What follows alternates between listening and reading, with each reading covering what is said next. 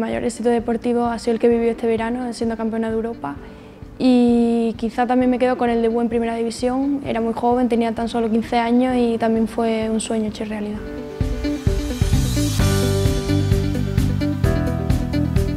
Una experiencia única por, por, lo que hemos conseguido. El año pasado fuimos subcampeonas y, y aunque la experiencia es similar, te queda un poco con la miel en los labios. Cuando eres campeona es totalmente diferente y bueno, como te digo, una experiencia única tanto dentro del campo, lo que aprendes, lo que disfrutas jugando eh, y bueno, cada momento fuera es una experiencia creo que te marca.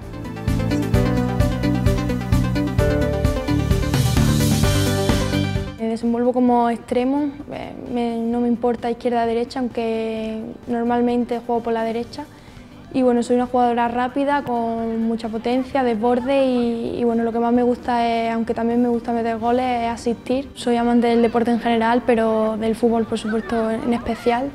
Y bueno, quizás lo que más disfruto es el ambiente de, con las compañeras, las amistades que se hacen, las experiencias que tienes la oportunidad de vivir.